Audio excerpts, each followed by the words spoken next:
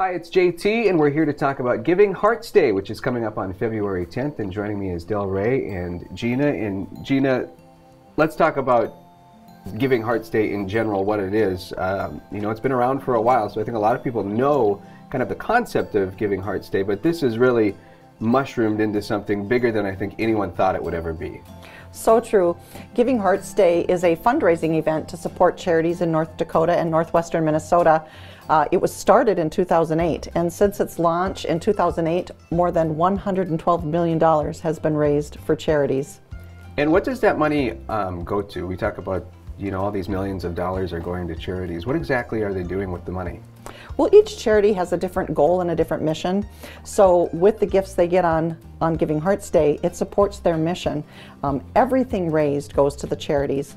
And then all of the charities have matching funds, so people's gifts go further to make a greater impact uh, by giving on Giving Hearts Day. We'll get to know some of those charities with Del Rey here in just a minute, but I want to keep talking a little bit about uh, the, the whole uh, Giving Hearts Day. So, if someone were to want to donate or they want to learn a little bit more about Giving Hearts Day, where, where would they go to find that information? They would go to, to givingheartsday.org is the website. You can learn more, you can give. You can actually schedule your gift if you go there now. Between now and February 8th, you can schedule uh, a donation to Giving Hearts Day, or you can go on the day itself, make a real-time gift on February 10th this year. There are 540 participating charities this year that you can make a gift to, including the 11 of us that form the Detroit Lakes Area Collaborative. Um, you can also donate goods or pledge to volunteer. Okay, very good. And uh, I've noticed on some of the social media posts that I've seen a truck that's driving around. Tell me a little bit about the truck because not only can you donate to these charities, but there's a little bit of an incentive for donating as well. Uh, this year there's a sweepstakes, and so um, there are prizes uh, all day long that um, come from the people who make a gift. They'll be drawing those uh, randomly through a computerized drawing, but there are spa gift cards, coffee, uh, and yes, towards the end of the day, uh, a Chevrolet Silverado will be given out uh, to one of those lucky donors who makes a gift to a charity on Giving Hearts Day. Well, uh, let's knock on wood. hope that that's that's me because I'm going to be ready to donate on February the 10th.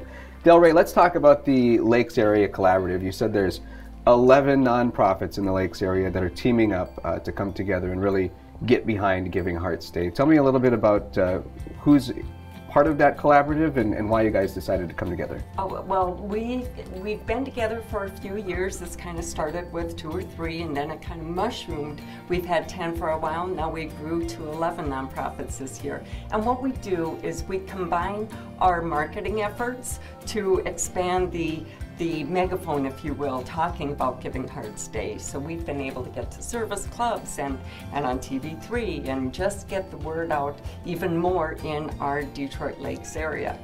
So I can certainly talk about the 11 nonprofits. Yeah, let's talk about those. I, I won't make you list them all off the top of your head because. Uh, okay, yes, I do have a cheat sheet because I certainly don't want to miss one. We've got Boys and Girls Club of Detroit Lakes, Detroit Mountain, Essentia Health St. Mary's Foundation, the Friends of the Tamarac, Fuller Center for Housing, Health Resources, we've got the Humane Society of the Lakes, Holy Rosary Catholic School, Lakes Crisis and Resource Center, Lend a Hand Up, and Minnesota Flyers Gymnastics.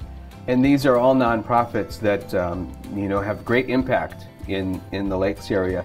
Let's take maybe just one or two and talk specifically about them. And then if you if you do want to learn more about these specific 11, um, there are some resources um, online that you can find out more about them. GivingHeartsDay.org probably.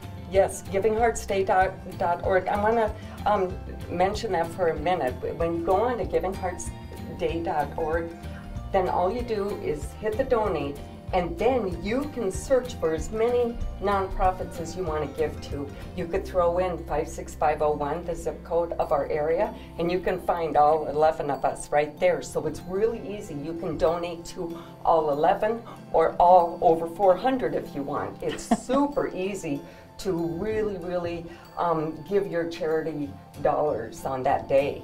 And again, all our nonprofits, we do have matching funds. So that does expand the okay. giving. So yes, Jean is here with Lend a Hand Up. I'm here with the Lakes Crisis and Resource Center. And one thing that we will be doing is on February 10th, on that Thursday, from 10 to 1 we'll be at Washington Square Mall. All of us will be there. So if you want to learn in detail about all of us, we'll have our flyers and our banners and, and representatives there to talk all about how your dollars will impact, as Gina said, the mission of everyone's nonprofits. So that's the best way to learn about all of us. But then we all have our respective um, websites and our Facebook pages, and we're all going to be promoting that too on social media. Well, since you guys are, are both part of um, two of these nonprofits, what is it about Giving Hearts Day that really um, makes this a special day for your nonprofits? Well, I think it's just the opportunity to excite people to uh, to learn more about area nonprofits, to make a gift, to know that it goes farther than perhaps other days throughout the year. It's a great way to engage businesses. There are many businesses in the Detroit Lakes area that are rounding up and matching gifts and just participating in the day. So I think it's just the energy of the day. Um, and certainly making new friends for your charity is always a good thing. Yes, that's that's exactly right. And one thing about this is when you go on the website or even come to Washington Square Mall with a check, that money goes directly to the nonprofit. So this is this is from you to the nonprofit. It is it's that simple, it's that easy, and it goes directly to helping that nonprofit do their service to others. Great point because Dakota Medical Foundation, Impact Foundation, Alex Stern are some of the hosts of the day. They're facilitating the giving, but all the giving is going to those nonprofits. All the generosity uh, goes to work immediately. Yes. Well, we're looking forward to Giving Hearts Day. It's on February 10th. Is there anything else that you might want to add before we wrap up today?